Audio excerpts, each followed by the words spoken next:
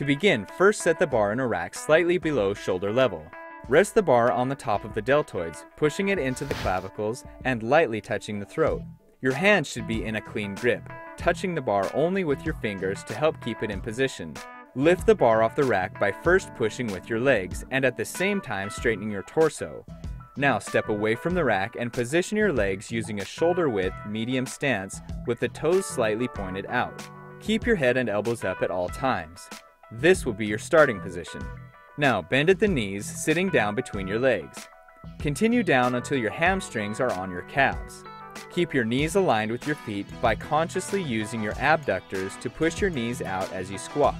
Begin to raise the bar as you exhale by pushing the floor mainly with the heel or middle of your foot as you straighten the legs again and return to the starting position.